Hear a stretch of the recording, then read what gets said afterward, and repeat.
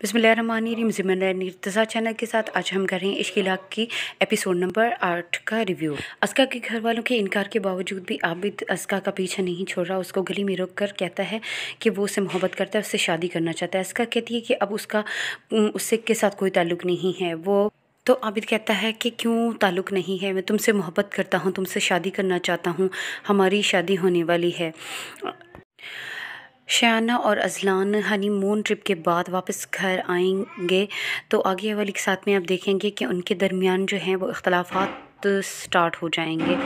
शाना अजलान से कहेगी कि वो उसको कोई बात बताने की और किसी भी किस्म का एक्सक्यूज़ देने की कोई पाबंद नहीं है।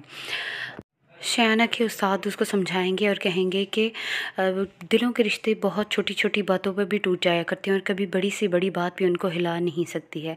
नेक्स्ट एपिसोड में आप देखेंगे कि शयाना और अजलान की, आपस के अख्तलाफात बहुत ज़्यादा बढ़ना शुरू हो जाएँगे।